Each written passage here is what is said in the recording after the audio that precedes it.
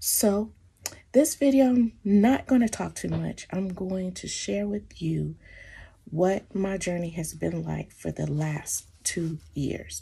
So I passed my two year loc anniversary October 3rd, and I know this is like October 16th. Um, my hair was in some goddess locs, so I didn't feel comfortable sharing that video, sharing this video with you while I have that style. So here I am.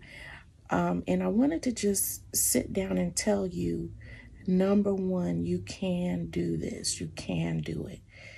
Your hair changes so dramatically from the first time you decide to lock your hair to the first year to the second year. Your hair changes so dramatically.